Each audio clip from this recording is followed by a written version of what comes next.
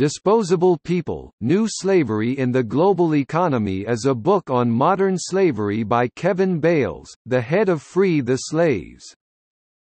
The book is published by University of California Press.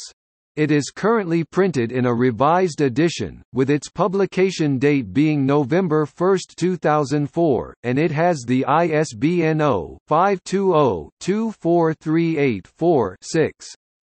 The book consists of 298 pages.